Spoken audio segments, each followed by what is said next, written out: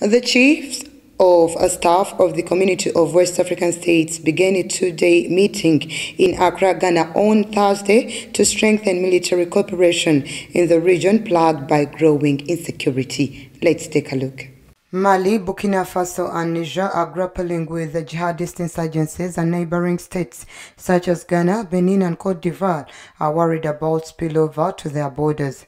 Addressing representatives of the Joint Chiefs of Staff in Ghana's capital, Accra, Ghana's Defense Minister Dominic Nitiwul said that in three years the region has suffered more than 5,300 attacks blamed on terrorists resulting in about 16,000 deaths and more displaced people.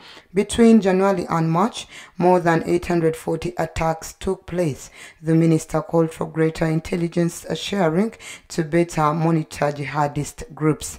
After military coups in Mali, Burkina Faso and Guinea, ECOWAS suspended these countries from its bodies and imposed economic sanctions. However, it allowed representatives of three countries to attend the meeting because of the urgency. A jihadist insurgency by fighters affiliated with Al-Qaeda and the Islamic State group has spread from northern Mali to neighboring Niger and Burkina Faso. At the end of February, the Nigerian president Mohamed Bazoum announced that he had begun discussions with jihadists to promote peace.